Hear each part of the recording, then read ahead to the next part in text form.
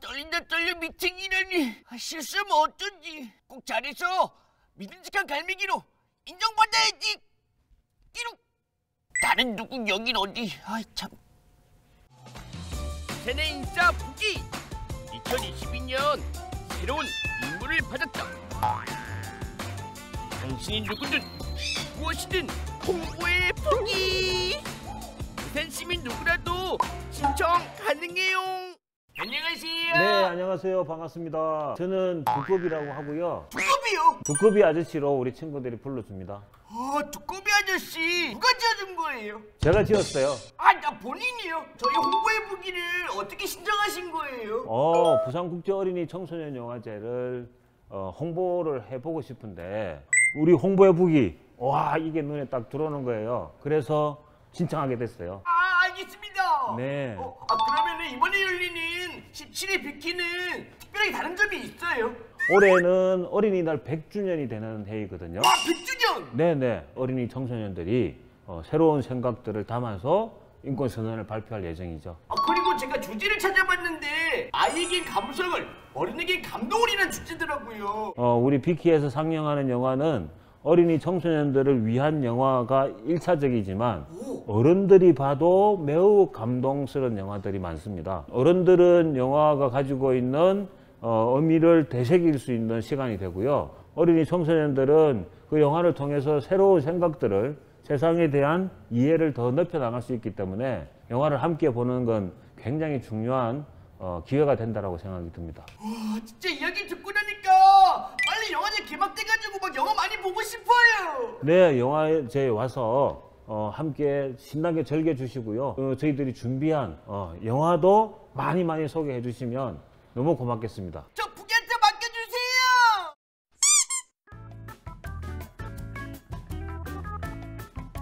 홍보의 부기 작년에 이어서 부기가 또 한 번 영화의 전당에 왔습니다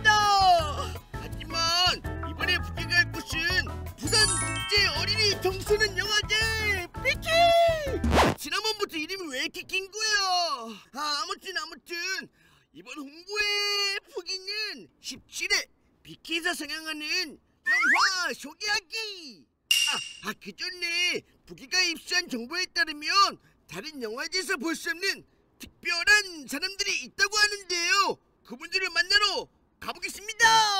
고고고!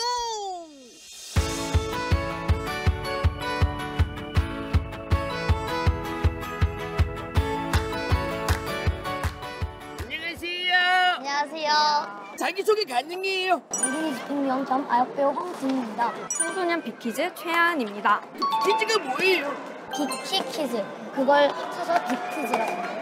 오, 합성어네, 합성어. 신청하게 된 계기는 뭐예요? 청소년인 제가 영화 관련 일을 할 수 있는 것 중 뭐가 있을까 찾아보다가 빅키를 발견해서 이제 신청하게 되었습니다. 아, 난 전화할 때 뭐 했지? 그냥 먹고 놀았던 것 같은데. 그러면은 무슨 활동을 하는 거예요, 정확히 비키즈는? 어린이 감독님이 만든 영화를 심사하고 그거에 대해서 상을 주고 어린이 감독님들과 빅키즈들이 함께 이야기를 나누는 애청반이라든지 이런 활동을 하고 있습니다. 아, 진짜 이렇게 어린이랑 청소년으로 구성된 집행위원이라니 진짜 진짜 대단한 것 같아요. 그럼 저는 이제 본격적으로 영화 수기하러 가보도록 할게요. 만나서 반가웠어요. 아...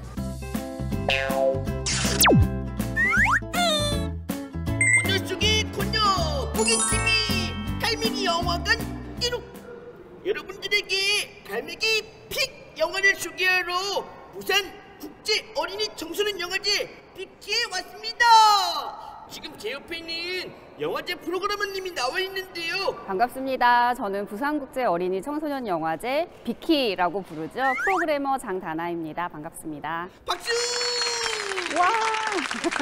몇 가지 궁금한 게 있는데요 네네. 뭐가 궁금하세요? 어, 프로그램 보니까 이 경쟁 부분이랑 초청 부분으로 나눠져 있더라고요 네, 맞습니다. 이 부분에 대해서 좀 이렇게 자세하게 설명 좀 부탁드려도 될까요? 우선 경쟁 부문은 어린이 청소년 감독님들의 영화를 가지고 어, 양질의 영화들을 함께 나누는 그런 자리라고 할 수 있고요. 초청 부문 같은 경우는 어, 해외 유수의 영화제들에서 그 작품성을 인정받은 그런 작품들을 저희 비키의 프로그래머들이 아주 좋은 것들만 쏙쏙쏙 뽑아가지고 왔어요. 그래서 국내에서도 함께 보실 수 있도록 가지고 왔으니까요. 많은 관심 부탁드리겠습니다. 우와 대박 진짜 궁금하다.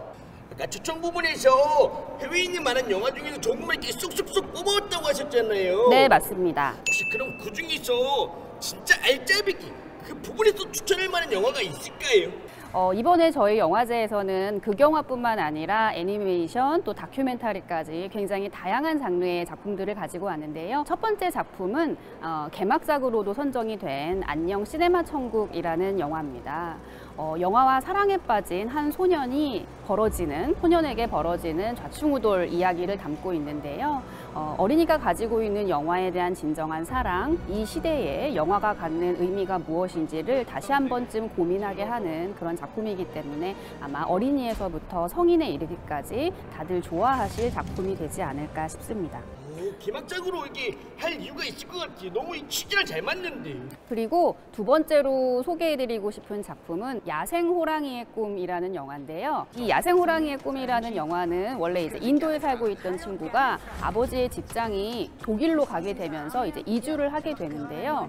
이 친구의 꿈이 뭐냐면 인도에서 가장 유명한 영화 배우와 함께 그 영화를 찍는 게 꿈이에요. 그런데 어느 날 먼 독일에서 그 소식을 들은 거죠. 그 유명한 배우 가 배우를 모집하겠다라는 공고를 내게 돼요. 그래서 이 친구가 이제 거기에 참여하고 싶은데 사실 현실이 그렇게 녹록하지가 않거든요. 그래서 이 친구가 자신이 좋아하는 그런 배우와 함께 꿈을 이루기 위한 그런 과정 이런 것들을 인상적으로 담은 작품이라 또 초청을 해드리고 싶습니다. 이렇게 진짜 재밌는 영화들을 찾아오신다고 진짜 많이 고생하셨겠어요. 그래도 세계에 있는 좋은 영화들을 어, 우리 부산에 있는 또 우리 한국에 있는 많은 관객님들과 본다고 생각하니까 저는 너무 좋습니다. 비케 추천된 영화들을 소개해 주셔서 진짜 감사합니다. 아니에요, 제가 더 감사합니다.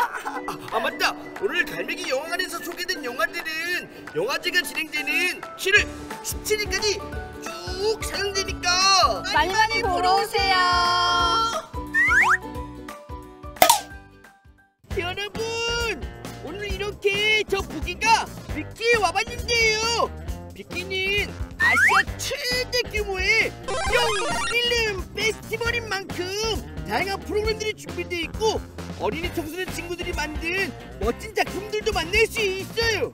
올해 비키는 7월 8일부터 7월 17일까지 진행되니까 오셔가지고 재밌는 영화 많이 많이 보고 가세요. 아 맞다 맞다. 부기에 홍보가 필요한 부산 시민분들은 홍보의 부기 영상에 시청 댓글을 남겨주세요. 바로 남겨 남겨.